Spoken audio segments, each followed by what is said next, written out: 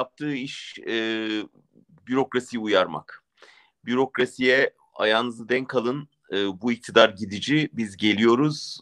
Uymayın. Yasa dışına çıkmayın. Yasa dışı verilen emirlere e, riayet etmeyin mesajı veriyor. E, giderken oraya o binaya giremeyeceğini biliyordu. Aslında CHP TÜİK'in kapısında bir basın toplantısı planladı ve bunu yaptı ve çok önemli bir mesaj verdi. Mesaj iki yönlüydü. Bir tanesi içeridekilere yani bu binanın içindekiler sizin maaşınızı bu halk ödüyor. Bu halka karşı sorumlusunuz dedi. Bu son derece anlamlıydı çünkü binanın içinde evet Erdoğan'ın adamları var, oraya atadığı e, bürokratlar var ama aynı zamanda bu devlete herhalde sadakatle hizmet etmiş insanlar da var. Onlar bir defa bence e, iki kere düşüneceklerdir bundan sonra atacakları adımlarda.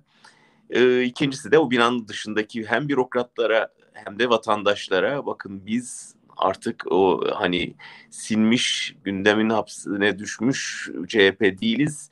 E, biz bundan sonra aktif bir siyaset izliyoruz mesajı verdi.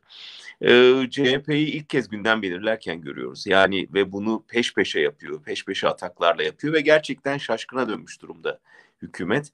Yani Altan bence bugünkü baskın TÜİK'e değildi, sarayaydı. Yani çok iyi biliyoruz ki orada sarayın e, atadığı e, emir var.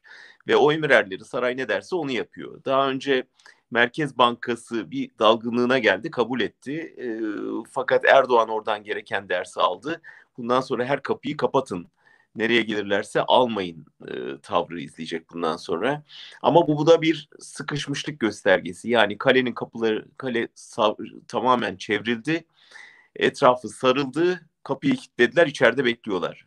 Ve bence bu yarın sarayın başına gelecek şeyin bir küçük provasıydı.